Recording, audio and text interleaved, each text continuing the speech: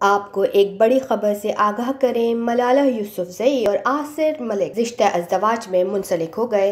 एजाब व कबूल की वीडियो सामने आ गई। मैंने उसे अपनी बीवी बना लिया। बर्मिंगम, इनाम याफ्ता, मलाला यूसुफजई और पाकिस्तान क्रिकेट बोर्ड पीसीबी के हाई परफॉर्मेंस सेंटर के जनरल मैनेजर आसिर मलिक के एजाब और कबूल की वीडियो भी सामने आ गई। निकाह की वीडियो में आसिर मलिक को निकाह खौ के पीछे मैंने उसे अपनी बीवी बनाया, दोहराते हुए सुना जा सकता है। मलाला यूसुफजई और आसिर मलिक के निकाह की तकरीब बर्मिंगम में मलाला के घर पर हुई। इस मुख्तर से तकरीब में दूल्हा दुल्हन के अहल खाना ने भी शिरकत की।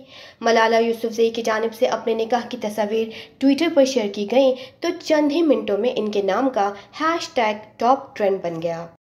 मलाला के शोहर आसिर पीसीबी में किस अहदे पर हैं? तफसीलात सामने आ गई। पाकिस्तानी नोबल इनाम याफ्ता मलाला यूसुफजई ने पाकिस्तानी नौजवान आसिर मलिक से निकाह कर लिया। मलाला के शोहर पाकिस्तान क्रिकेट बोर्ड पीसीबी के जनरल मैनेजर हैं। मलाला ने कुछ अरसे पहले ट्विटर पर अपने निकाह की तस्वीर शाया की, जिसमें उन्होंने बताया कि इनका निकाह इनके बर्मिंगम के घर में आसिर के साथ हुआ। मलाला के शोहर आसिर का पूरा नाम आसिर मलिक है और वो पीसीबी हाई परफॉर्मेंस सेंटर के जनरल मैनेजर हैं। दोनों गुजशत कुछ अरसे से एक दूसरे के साथ हैं।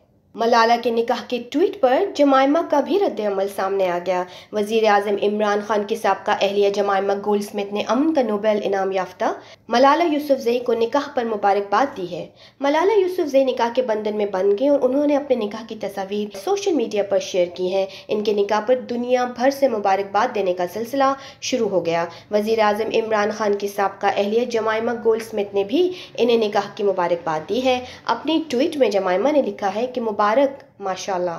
ख्याल रहे कि Malala, Pakistan cricket board PCB high performance centre के अफसर से शादी के बंधन में बन गई। जराए ने बताया है, मलाला के शोहर असर मलिक पीसीबी में जनरल मैनेजर ऑपरेशंस हैं। अब बात करते हैं क्रिकेट की। कहा जा रहा है कि बॉस के साथ मसला हुआ तो शुएब अख्तर को 10 करोड़ का नोटिस भेज दिया। क्या तीन साल तक ये सो रहे थे? सलमान बट ने पीटीवी स्पोर्ट्स को आड़े हाथों ले लिया। शोएब और नमान का तनाज़ा बढ़ता जा रहा है। कौमी क्रिकेट टीम के सबक कप्तान सलमान बट भी अब आगे आ गए हैं मैदान में और उनका कहना है कि क्या शोएब अख्तर को 10 करोड़ रुपए का नोटिस देने वाली पीटीवी स्पोर्ट्स की इंतज़ामिया तीन साल तक सोती रही है। इनको नोटिस इस वक्त याद आया जब इनके बॉस के साथ मसला हुआ। निजी टीवी के प्रोग्राम में मेज़बान आयशा यूसुफ के साथ गुफ्तु करते हुए सलमान बट ने कहा है कि शोएब अख्तर को नोटिस तीन साल बाद इसलिए याद आया क्योंकि अब इनकी वो दोस्ती नहीं रही। शोएब अख्तर पहले भी दूसरे चैनल्स पर जाकर प्रोग्राम करते थे, लेकिन तीन साल तक इन्हें कोई नोटिस नहीं दिया गया। अगर कॉन्ट्रैक्ट में लिखा था कि वो दूसरे चैनल्स पर नहीं जा सकते तो क्या पहले ही टीवी स्पोर्ट्स की इंतजामिया सो रही थी? शोएब अख्तर को भेजे जाने वाले नोटिस पर सख्त गम गुस्से का इजहार करते हुए कहा है कि ये कौन लोग हैं जो पीटीवी को चला रहे हैं?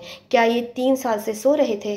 क्या इस तरह होता है? आप तीन साल बाद नोटिस दें। अब इनके बॉस के साथ शुएब अख्तर का मसला हो गया तो उन्हें दस करोड़ रुपए का नोटिस याद आ गया।